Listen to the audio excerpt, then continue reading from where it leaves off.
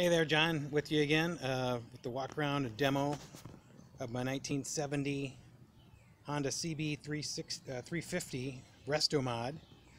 Just uh, finished and offering it for sale. Uh, just wanted to show off all the features, the beautiful paint job, Avon Road Rider tires, front and rear.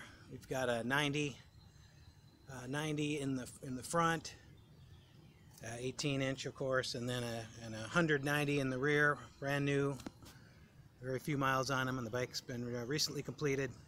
It's completed in uh, mid-February. It's uh, got uh, obviously what stands out is, uh, is, the beautiful house of color which is the top of the line paint paint job. This is candy apple red over their zenith gold.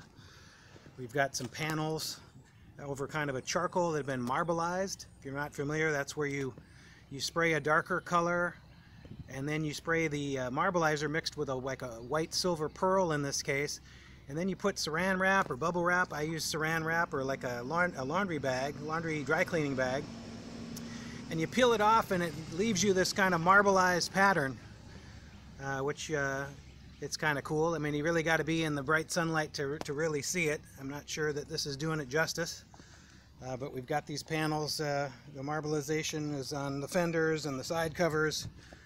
Uh, it's uh, it's got you got to see it in person, I guess, almost to appreciate it the most. Uh, other modifications, we've got uh, LED turn signals, front and rear. The rear fender has been bobbed and kind of narrowed a little bit, and it's got a Lucas-style tail light.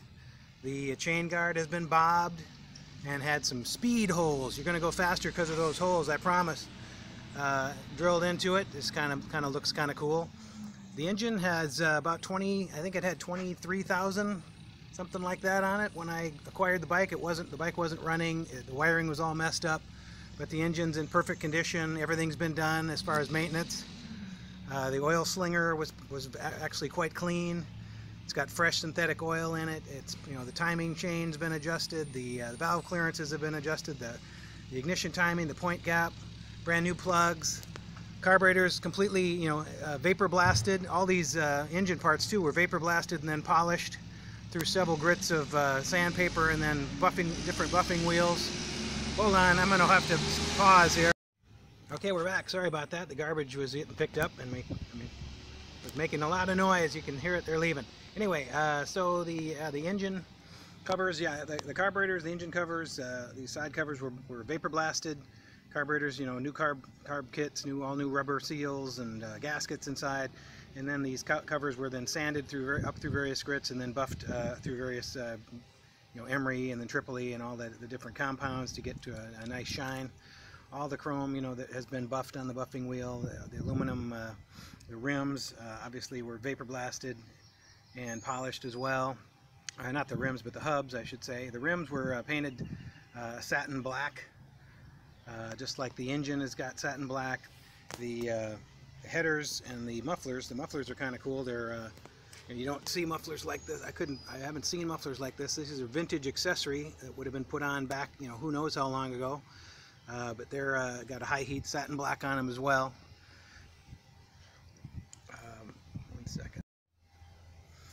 Another thing that's kind of cool here is these, uh, I mean, you can see the tappet covers, these fin tappet covers. That's like a, a vintage accessory that was available back in the day, but uh, very hard to come by now.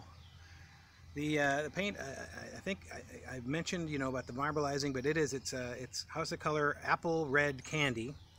And you get the different, you know, different appearance between the light and the dark because it's over, the bases underneath it are different bases. Uh, and then it's like four coats of, uh, of their highest quality UV resistant clear on it. The, uh, the controls, uh, we've got a custom aluminum dashboard. We've got a Vapor, Trailtech Vapor speedometer, tachometer. It's got the, uh, the, the date, date and time, you know, air temperature, engine temperature, all of this in this one sleek little unit. The uh, indicator lights are, are all LED now. You've got high beam, your neutral, and then your turn signal indicator. All the lights, all the electric works great. The horn, it's got dual horns. Uh, let's see here, we'll come around this way. There's uh, two horns here, one's kind of behind the other, a little hard to see maybe, but uh, it's nice and loud, one, you know, two different tones, a high tone and a low tone, so people will uh, get out of your way and hear you coming. Got to be safe out there. Um, what else? More polished engine covers. The engine, the rest of the engine, like I said, was in great shape, so I've been tuned. It's got the satin black on it. Uh, we painted the shock springs, the polished hub in the rear, the Avon tire in the rear. Uh, again, we have these LED turn signals up front as well as the back, and they're painted to match, you know, the front and the back. Back, you know, matches the frame. Uh, the seat, I'm real proud of, uh, hand stitched. Uh, this is a beautiful, uh, very soft leather.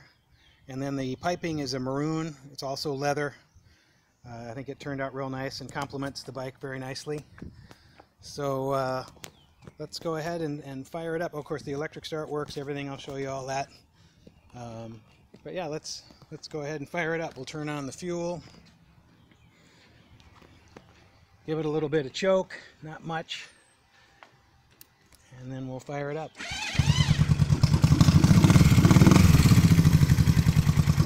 Oop.